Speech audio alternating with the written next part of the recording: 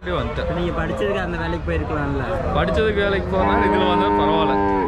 படிச்சது இன்ஜினியரிங் படிச்சதுக்கு இந்த பரவாயில்லைங்களா இது பரவாயில்ல. பிரச்சனை எதுவும் இல்லை. ஒய்ஃப் பாடி படிச்சுட்டு இருக்கிறா செகண்ட் டிகிரி படிக்க செகண்ட் இயர் படி நீங்கள் தான் படிக்க. வச்சிருக்கீங்களா? இப்போ என்ன காலேஜ் தினேஷ்குமார். தினேஷ்குமார். எங்கேருந்து வரீங்க? புளியம்பட்டி கோயம்புத்தூர். கோயம்புத்தூர்லேருந்து வரீங்களா. வார வாரம் வாரம் சந்தைக்கு? வாரம். என்ன படிச்சிருக்கீங்க? மெக்கானிக்கல் மெக்கானிக்கல் இன்ஜினியரிங்கா ஆமாம் இப்போ படிச்சுட்டு முடிச்சுட்டு வேலைக்கு போகலீங்களா? ஆ வேலைக்கு. மாட்டு வியாபாரம் தானா? ஆ மாட்டு. வேற என்னென்ன வியாபாரம்? மாட்டு வியாபாரம் வண்டி இருக்கு. வண்டி ஓட்டுவோம். சொந்த வண்டிங்களா? வேற என்ன? வேற அங்கே போய் மாடு விற்கிறது வாங்குறது. பரவாயில்லைங்களா? படிச்ச வேலையோட இது படிச்சதுக்கு ஏழாயிரம் ரூபா சம்பாதிக்கிறேன் இதில் பதினாலாயிரம் சம்பாதிச்சிக்கலாம் இதில் பரவாயில்ல. ஆ. பரவாயில்ல. எத்தனை வருஷமா இதை பண்ணிட்டு இருக்கீங்க? பத்து வருஷம் ஆச்சு. பத்து வருஷம் அந்த மாடு ஒம்பது வருஷம் முடிஞ்சுது இது பத்தாவது வருஷம். பத்து வருஷம் ரெண்டாயிரத்தி பதிமூணில் சரி ரெண்டாயிரத்தி பத்தில் முடித்தேன் இப்போ ரெண்டாயிரத்தி பதிமூணாவது போ இருபத்தி மூணாவது போகுது. அப்பா இதில் இருந்தார் நான் அப்படியே இதுக்கு வந்துட்டேன் அப்பா வண்டி வச்சுருந்தாரு.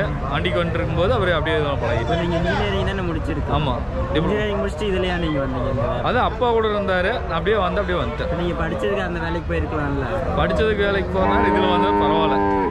படிச்சது இன்ஜினியரிங் படிச்சதுக்கு இந்த பரவாயில்லைங்களா? இது பரவாயில்ல. உங்களுக்கு இதில் பெனிஃபிட்டாக நல்ல பெனிஃபிட் ஆ பெனிஃபிட் இப்போ எவ்வளோ மந்த்லி எவ்வளோ சம்பாதிப்பீங்க?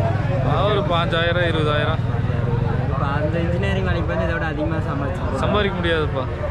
பதினஞ்சாயிரம் இருபதாயிரம் கூட படிச்சதுக்கு சம்பாதிக்கணும் சம்பாதிக்கலாம். நான் படிக்கும்போது வந்து எனக்கு பேசிக் சம்பளமே ஏழாயிரம் எட்டாயிரம் தான் சொன்னாங்க. இப்போ வந்து நல்ல வேக்கண்ட் இப்போ இருக்குங்களா வேக்கண்ட் இருக்கு அப்புறம் இதுக்கு செட் ஆயிருச்சுல. போதும் இது வண்டி ஓடுது அது அதுல ஒரு பத்து பாஞ்சாயிரம். ஆ. இதெல்லாம் வாடகைலாம் எப்படிங்க? வாடகை இந்த வாடகைலாம் எப்படி வாங்குவீங்க? வாடகை மொத்த வாடகை உங்கள் லைஃப்பை பற்றி கொஞ்சம் சொல்லுங்கள் எப்படியெல்லாம் கொஞ்சம் அந்த மாட்டை கொஞ்சம் கஷ்டப்பட்டு ஃபஸ்ட்டு ஆரம்பத்தில் ரொம்ப கொஞ்சம் கஷ்டமாக இருந்துச்சு. ரெண்டு மூணு நாள் தூக்கம் கட்டுறது அப்படி இப்படின்னு ரொம்ப கஷ்டமாக இருந்துச்சு. இப்போ பரவாயில்ல. அது பழகிருச்சு.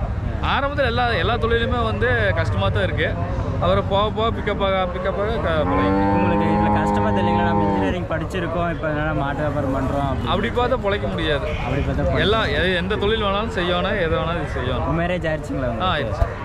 எப்போ ஆச்சுங்க உங்களுக்கு? ஒரு நாலு மாதம் ஆச்சு. நாலு மாதம் ஆச்சு. இப்போ தான் ரீசெண்ட் நாலு ஆச்சு. ஏதோ பொண்ணு யாரும் தெரில பொண்ணு இப்போ மாட்டு மாட்டு வியாபாரம் படிச்சுட்டு இன்ஜினியரிங் படிச்சுட்டு மாட்டு வியாபாரம் பண்ணுற எப்படி பொண்ணு தராங்க அது யோசிப்பாங்களா? அது. ஆமாம் படிச்சுட்டு வேலைக்கு பத்தாயிரம் சம்பளம் வாங்கினாலும் வேலைக்கு போனால் பொண்ணு தர்றாங்க. டீசெண்டாக. மாதிரி இருக்கும். இப்போ. மாட்டு வியாபாரம் பொண்ணுகிட்ட பக்கம் கொஞ்சம் அசிங்கமாக அந்த மாதிரி நான் இல்லை அதனால வண்டி இருக்கு வண்டி இருக்கு வண்டி சொந்த வண்டி. வண்டி இப்போ நிலங்களாம் நிறைய இருக்கு. அதெல்லாம் தாத்தா சம்பாரிச்சு அதெல்லாம் நம்ம இது செய்யக்கூடாதுல்ல.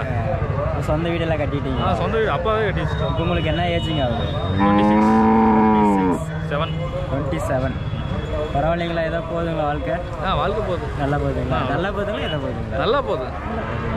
பொண்ணு எப்படி சொந்தங்களா இல்லை சொந்தம் தாங்க. சொந்தம் தான் ஒன்றும் பிரச்சனை இல்லை எப்படி வெளியெல்லாம் பொண்ணு பார்த்தீங்களா அதுக்கு கிடைக்காதனால அது சொந்தத்தில் ஆ. மேரேஜ் பண்ணிக்கிறீங்களா? இல்லை இல்லை சொந்தத்திலேயே தான் பார்த்துட்டு இருந்துச்சுங்க. ஜாதகம் செட் ஆகல.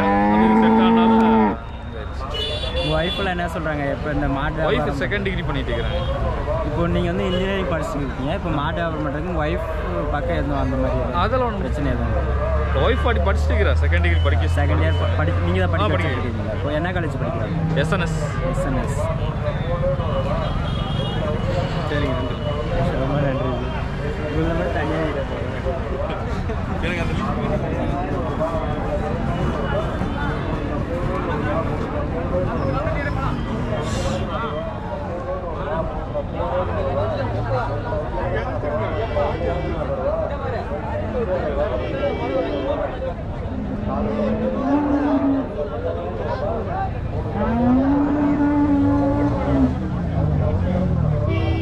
இப்போ நீங்கள் ஓனா மாடுங்கிறது எத்தனை எத்தனை மாடு வாங்கிட்டு போகிறீங்க நீங்கள் பத்து மாடு. பத்து மாடு. இப்போ பத்து மாடு இது வரை வாங்கியிருக்கீங்களா?